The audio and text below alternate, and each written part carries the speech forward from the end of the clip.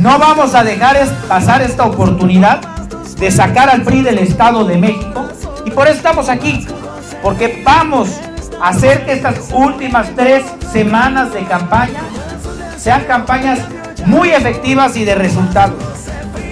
No vamos a perder esta oportunidad de sacar al PRI del Estado de México y lo vamos a hacer todo el PAN de la ciudad junto con nuestros compañeros del PAN del Estado de México. No